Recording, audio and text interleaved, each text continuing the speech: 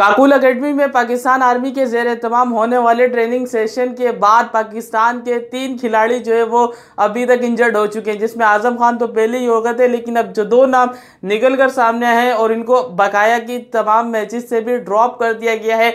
NCA में report करने का कहा है और वहाँ पर उनका रिहैब जारी रहेगा।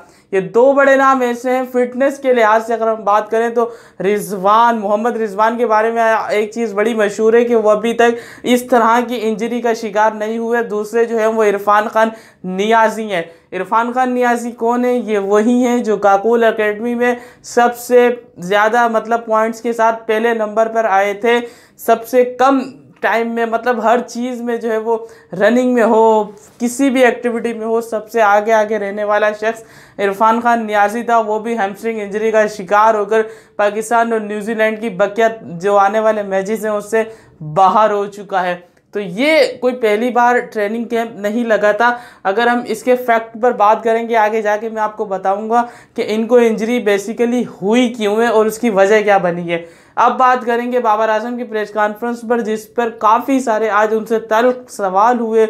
उनकी वन डाउन अभी हम तो यहाँ सोशल मीडिया पर बैठकर बातें कर रहे होते हैं, लेकिन बाबर से जब सहाफ़ियों ने सवाल लाइव किए हैं ना, वो ज़रा मैं आपके साथ डिस्कस करता हूँ। बाबर से एक सवाल किया एक सहाफ़ी ने कि, भाई, सबके नंबर फ्लेक्सिबल हो रहे हैं, सब ऊपर नीचे हो रहे हैं, क्या आप भी ओपनिंग को छोड़कर वन डाउन पर खेलेंगे?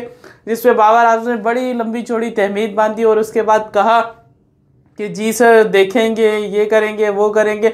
लेकिन बीच में वो एक बात कर गए। अगर बाबर आज़म की प्रेस कॉन्फ्रेंस आप ऐसी देख लेते ना तो एक अलग बात है। लेकिन बाबर की बातों पर अगर एक एक बात पर आप गौर करें ना तो उसमें से आपको जो है वो मुद्दा देखने को मिल जाता है। तो उसमें उसने यही कहा है कि हम चाहते हैं कि चार पाँच जो नंबर हैं, वो एक ही रहें। इससे वो साफ़ क्लियर करना चाह रहे हैं कि भाई मैं अपनी ओपनिंग नहीं छोड़ूँगा। तो अब तक जितने भी लोग ये परेशान थे या ये सुनना चाह रहे थे कि भाई बाबर जो है वो ओपनिंग छोड़ेंगे और फ्लेक्सिबल होंगे, दूसरे लड़कों को मौका देंगे, ये होगा तो भाई ऐसा कुछ नहीं होने वाला।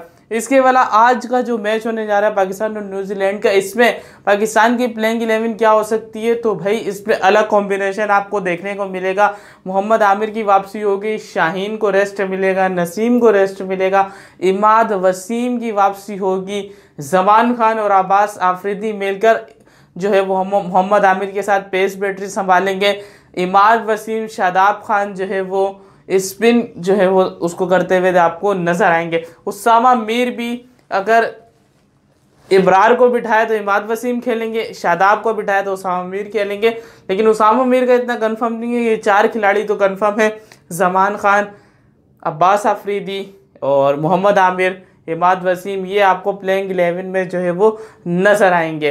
बाबर आज़म से और भी काफ़ी सारे सवाल हुए, रिजवान से इंजरी से रिलेटेड ही कि भाई उनको जो इंजरी हुई है तो उसके बाद आप उसको किस तरह देख रहे हैं? तो बाबर आज़म ने भाई साफ़ साफ़ कह दिया कि रिजवान हमारा की प्लेयर है और हम पूरी कोशिश करेंगे कि आयरलैंड सीरीज़ से पहले पहले उसको रिकवर कर लें, उसको जितना भी उसको जो मसले मसाइल हैं, और वो खुद भी, ये रिजवान बाबर के अल्फाज थे कि रिजवान खुद भी फाइटर है और वो इस चीज़ से फाइट करके जो है वो आयरलैंड सीरीज़ से पहले या वर्ल्ड कप से पहले खुद को जो है वो फिट कर लेगा। तो भाई ये सारी चीज़ें जो है वो चल रही हैं। कल होने वाले मैच में क्या नतीजा निकलेगा वो आपके साथ ज़रूर शेयर करेंगे। चैनल को सब्सक्राइब कर लें वीडियो को लाइक कर लें। अल्लाह हाफिज़।